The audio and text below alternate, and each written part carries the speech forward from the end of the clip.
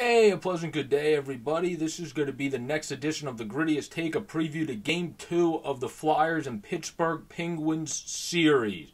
The Flyers, of course, did not look good in Game 1. They fell flat and lost 5 to 2 and allowed the likes of Michael Matheson and Cody Ceci to score against them, which are definitely not the puck uh, putter in the net guys and guys you want to allow to get goals against you. Joel Farabee has continued to step up and show up and show out as he was able to get the one goal for the Flyers. Sami Kapanen's son Kasperi destroyed them as well. Or excuse me, Farabee was able to get both goals for the Flyers, I should say. So he really showed up and showed out. And um, you're going to need to see that again from him, but I think you will. He just seems like he's developing into a budding star now, and he's going to be a great two way player for years to come. Uh, Kapanen's obviously a good little cat, a good little player um, when he's right and with the right guys on his line. It's just my whole thing with that game, since I wasn't able to do a reaction video to it, um, was you shouldn't be able to lose, especially when you outshoot them 42 to 27. Jarry did play uh, one of his best games of the season, uh, bar none.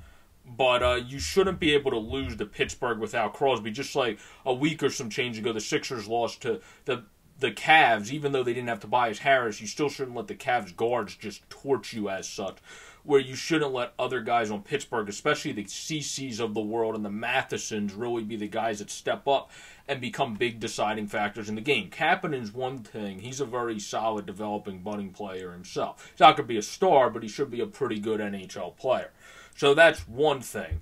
But allowing guys like Ceci and Matheson to be big deciding factors, Rust is another thing as well. He's become a Flyers killer, and it's just been very good, unfortunately, for us Flyers fans since going over to Pittsburgh. So those two, that's one thing. You just need to let the meat and potato guys of Pittsburgh be just that. You can't let them be the deciding factors of the game. Ceci and Matheson are just the meat and potato, or the really the extra sauce guys of the team, not even the meat and potato. Meat and potato guys are actually the Crosbys and Malkins.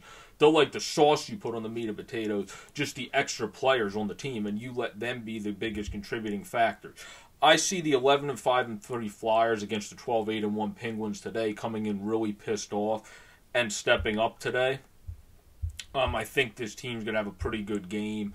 Uh, whether we do end up going with uh, Moose or um, Elliott, or excuse me, Moose or Hart. It looks like Elliott's projected in the projected lineup. I think that would be a good idea. Give him the second game after we didn't have the best performance in front of Carter, and then that weird goal when he was going to leave the net, and then they were able to shoot it on Math with Matheson back down for the goal. That was very unfortunate and annoying. But that's just the way it is. Either way, though, just like I am with the Phantoms, I'm confident in both of our netminders, and I think both of them are going to be able to step up. It seems um, like I hope Knack gets put back in the lineup because I think you need the tenacity and the forechecking ability of a Kubel. Bunny's been playing well, so if you don't want to bring him out, I mean, there's other guys that haven't been as consistent. You bench TK to try to get him going.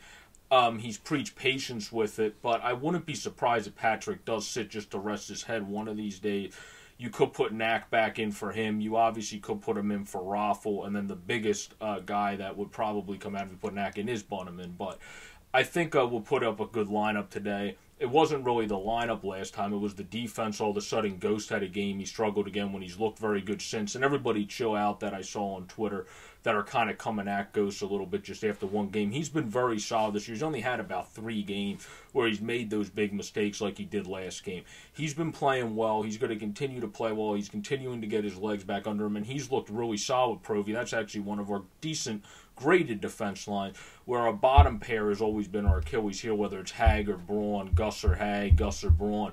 Those have usually been graded in the bottom 15 to bottom 10 tier of the league, where Provy and Ghost have usually been graded pretty well and fairly well, actually. So they definitely, Provy's never a problem, and Ghost definitely has not really been a problem whatsoever this year. And then Myers and Sanheim are a good graded pair as well, as both just continue to progress. They also bench Myers to obviously kind of get him going more the other day as well.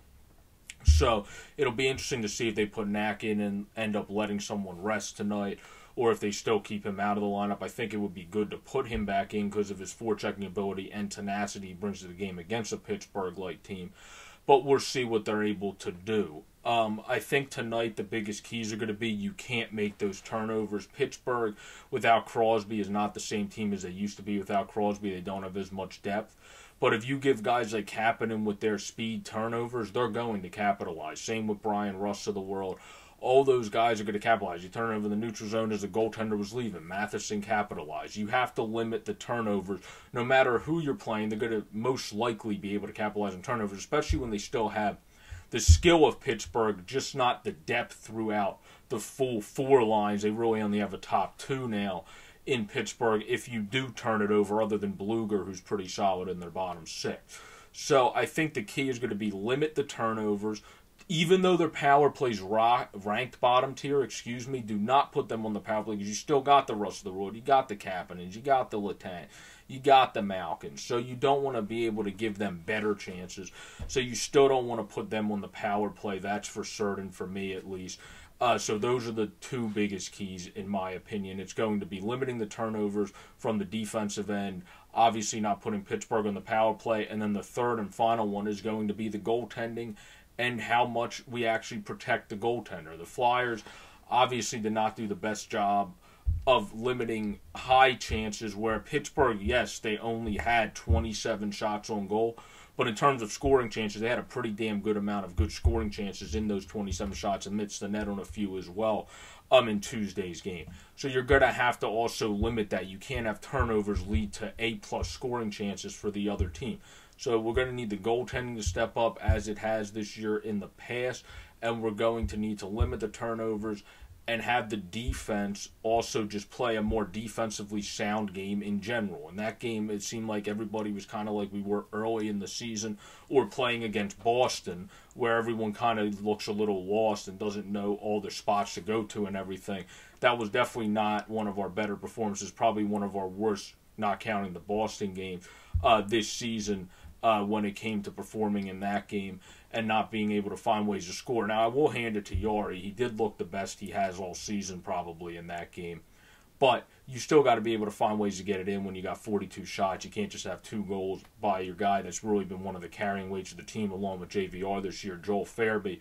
So I think him, Farabee, JVR, and obviously the G's and the Coots of the world are going to be your big contributing factors. Your young stars and your veterans are going to be the guys that are going to be able to get you over the hump against Pittsburgh. And I already gave you my keys for the game. I hope you all enjoyed this edition of the Grittiest Take previewing the second game of the series against the Pittsburgh Penguins. I believe our Flyers will be able to win this game. I'm going to bring it a little bit lower scoring. I don't think it'll be a seven goal total game again. I'm going to go four to two Philadelphia Flyers, make it one less, a six goal total. Um, and that'll be the way that they'll be able to win tonight. They'll play better defense. They'll limit the turnovers. They'll limit putting Pittsburgh on the power play and really play a better style of Flyers hockey today, in my opinion, as we saw against the Rangers and the Buffalo Sabres, rather than what we saw last game against the Pittsburgh Penguins. So please like, comment, and subscribe here at Sports Fanatic News and also at Flyers Nitty Gritty. And also, please check out FlyersNitty.com nittygritty.com, excuse me, and steelflyers.com. We really appreciate all your support. This has been Sports Fanatic News and Flyers Nitty Gritty. I'm Joe Bork, aka Pro Joe. This has been the grittiest take preview to Game 2 of the Philadelphia Flyers and Pittsburgh Penguins series. Hope you enjoyed. Let me know where you think the results going to go in the comments. Have a great, safe, and pleasant day, everybody, and enjoy the hockey. Peace out.